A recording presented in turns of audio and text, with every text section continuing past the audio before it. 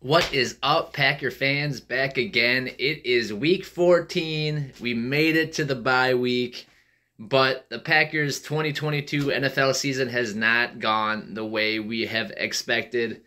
They're 5 and 8. It seems like the defense kind of didn't live up to the expectations. The offense took longer to get going than they previously expected. Losing Davante Adams hurt way more than they thought and the Packers team as a whole, you know, one game the offense would play well, the defense would struggle, and then the defense would play well, the offense would struggle, and then both offense and defense would play well, and the special teams would struggle. So it's been a tough season to watch, and I did most of this information before the bye week, before the the the win against Cowboys, the win against the Bears. Packers were three and six when I did most of this information, but it still holds true for their 5 and 8 record. Obviously, going into the bye, they have some hope of teams losing this week and then them coming out their last four games. If they win out, they have a chance. The Rams look like they're going to be starting Baker Mayfield.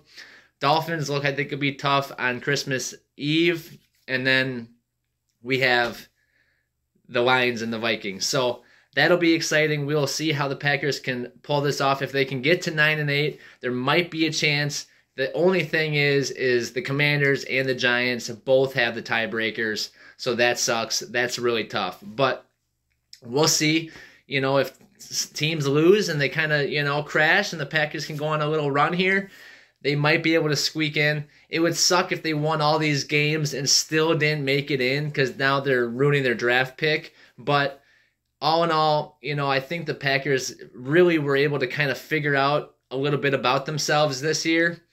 Run the football, you know, use Rodgers when you need to, play action, hit big plays with your young guys, and go that route. But the reason the Packers are 5 and 8, it started before this season.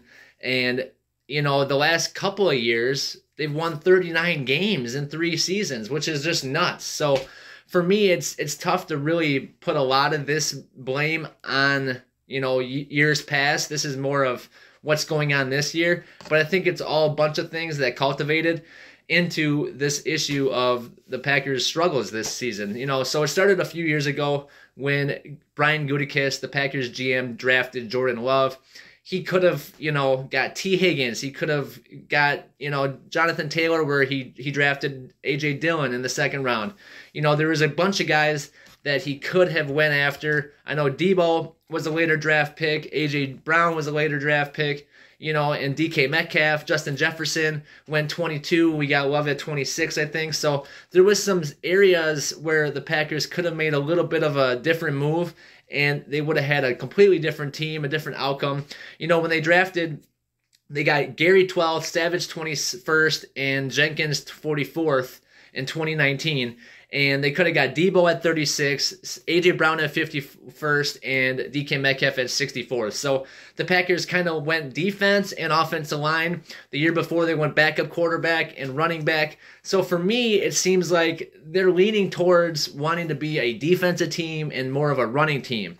Then you get rid of Davante Adams and now you really look like you're trying to be more of a running team than last year. They went and got Eric Stokes in the first round, and guys like Rondale Moore, Elijah Moore, and Amon-Ra St. Brown were all available into the second, third, fourth rounds of the draft. Packers selected Josh Myers second, um, second overall that year. Well, not overall, but second round that year in the draft, their second pick.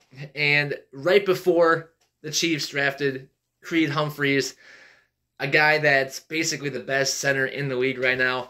And the Packers went and got Amari Rodgers in the third round over guys like Amon-Ra St. Brown. So all that kind of you know built up to the the Packers just not having the firepower going into this year, relying on a lot of young guys, bringing in a veteran like Sammy Watkins who has had his injury issues, and we see that he's just not up to up to it really. So you know the Packers they obviously Davante Adams traded away. MVS they let go. They you know um, Equanimeous St. Brown they let go, which isn't a big deal, but still you know they bring with the draft picks they got from Davante. They got Devonte Wyatt. They got Christian Watson. So something there, but you're still focused on defense. They won defense first round this year. And so this Packers team, with drafting Myers, drafting Jenkins, drafting Dillon, paying Aaron Jones, you'd think your identity would be running the football. You should be wanting to run the football. You know, teams like the Eagles and the Ravens, they know they're running the football. And so the Packers, they needed to be like that. I think it was tough for LaFleur to kind of, you know, you've got Aaron Rodgers, you want to keep throwing it, but you just don't have the guys around him to really excel. So that was tough. You know, after the couple of years of all the success, you kind of just assume the success is going to carry over, but it always it doesn't always do that. And they're learning that the hard way this year, you know. And then obviously some of the issues stem from play calling. You know, against the Giants, they have third and two and fourth and two at the goal line, two passes in a row, both get batted down. End of the game, you know. And there's other instances, but that's the one that I reflect on the most because that's a game that if they had that, they'd be in a way different position it seems like after that London game, they went on that five game. I mean, part of that London trip was their five game losing streak, but just really tough. You know, they had chances against the Lions at the goal line where they threw two interceptions and zero points. And, you know, just it comes down to I understand that Rodgers has a lot of freedom at the line, but Matt LaFleur has to come in and be like, okay, this is the play we're running. Make sure we run the football, and he has to stick to it. Know your identity. I think they co- he coaches too much on emotion. You saw that with some of the uh, the challenges he did this year, and I just think that he's just you know sometimes he's a little overwhelmed, and I think the you know he just he doesn't he seems like he's not a super aggressive guy. He's not weak, but just you know he doesn't seem like he really goes and is really a forceful you know um, speaker or people really want to listen to him and stuff like that. So I'm excited to see, you know, kind of where it goes next year. But some of this stuff, you know, has just really weighed on the Packers. You know, a lot of young guys, they trust, you know, they went after some positions of, of need in the past that are, you know, now they're, you know, cornerback. They have three really good cornerbacks, but they play a zone defense. So now their guys are out of position. So it's really tough just because, you know, you have seven first rounders on the defense. You have Aaron Rodgers. You know, you have David Bakhtiari and Elgton Jenkins, two all pros or pro bowlers on the offensive line. And then, you know, guys like Lazard who want to really step up and prove that they can be a guy. So it's just tough, you know. And throughout the season, there's just been here and there, you know, where there's a play that the Packers have to have, a third down and long that they have to stop. And the guys are out of position or, or miss a tackle. And it really just comes down to all the little basics and everything that the Packers aren't doing. Um, people would focus a lot of this on Joe Barry in the defense. What is going on there? If you're playing zone, all your guys are looking at the quarterback. You shouldn't be getting burned in the running game by the quarterback. You shouldn't be getting burned so much in the passing game. Guys shouldn't be running wide open. There should be a guy in every zone, basically, so it shouldn't be an issue. You'd think you'd get burned more in man to man just because of crossers and drags. It's hard to keep up with the guys, but that's not really how it's been. It's we get burned a, on a drag route during a zone coverage too. So I don't understand what's going on. I guess you know when the Rams had Joe Barry, Jalen Ramsey would complain about what his usage was, and then they fire him, and the Rams win the Super Bowl. So, eh, I don't know, but you'd think that with the defense on paper as crazy good as it is right now, or as it looks right now, you'd think that they'd be better on the field, but it just doesn't really, you know, manifest into those things. So, you know, the Packers just too much, too many mistakes. You know, Packers against the Bills and the Commanders. The defense would get an interception, and then the next play, Rodgers threw an interception right back. And for a guy who doesn't throw a lot of picks, it's just I don't understand it. Um, he, you know, I think he's forcing things a little bit more, but that's what it all comes back to the running game. If you're running the football, setting the tone on the ground, you have AJ Dillon and Aaron Jones. And AJ Dillon, I feel like, doesn't always run behind his pad. Sometimes he runs a little soft. He needs to be more aggressive, needs to run like he's bigger and stronger than everybody. Make them tackle you. I know you're trying to avoid injuries and things of that nature, but you can't have Aaron Rodgers back there throwing it 43 times a game like he has this season against, you know, the Giants and the Commanders. I mean, they were winning these games and he's throwing it 39, 35 times. It's just not the formula for winning, especially when you're throwing it to guys like Amari Rodgers and Sammy Watkins. It's just not going to materialize into a lot for the team. And, you know, then obviously a special teams issue. Talking about Amari Rodgers, you can't have a guy back there who fumbled four times, five times this year, seven times in his career, and just keep putting him back there, hoping he's gonna. I mean, he never did anything positive in the return game. Nixon comes in for one game and he's already better. So it's it's crazy, but the Packers wanted to stick with him. They drafted him third round. They thought he could turn into a guy, but it just wasn't where it was. And you know, in the kicking game, you know, Crosby, he's played well. You know, punting, Pat O'Donnell started out hot, but it seems like he's kind of struggled later in the year now. But Packers just haven't been able to get momentum going. You know, they lost that first game, kind of tough against the Vikings, came back, won three in a row. Then they lost five in a row. Then they won one, lost two, you know, one, one, you know. So it's it's been tough. It's been tough to watch, and um, the Packers just with any hope of this season, with any hope still, they need to figure out how to just stack four more wins together and hope that other teams lose.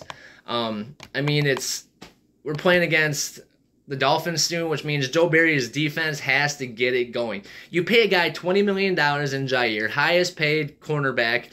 Then you pay Douglas 7 million. You drafted Stokes in the first round. You drafted Savage in the first round.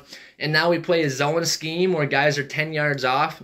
I just don't understand it. When you have the guys, you man them up and let them go after it.